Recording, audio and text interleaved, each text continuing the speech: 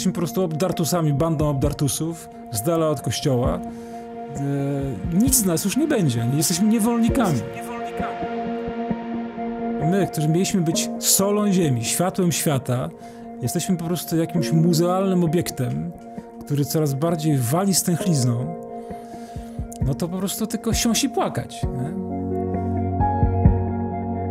To była jedna z najlepszych książek, nad którą było mi dane pracować. Y, byłam redaktorką tej książki i powiem szczerze, rzadko kiedy książka aż tak trafia w punkt jak ta.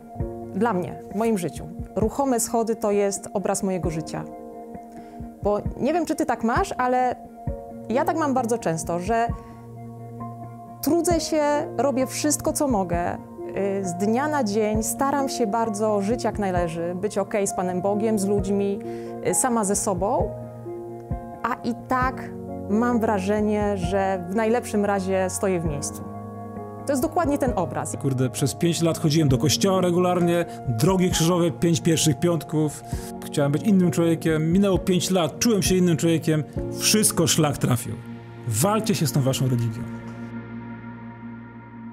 Kiedy już wiesz, że w twoim życiu coś nie wyszło, że coś tąpnęło, że jesteś w chwili, której się staczasz z tych ruchomych schodów, nie jesteś w stanie dalej pójść, to jest taki moment, kiedy na scenę wkracza Bóg.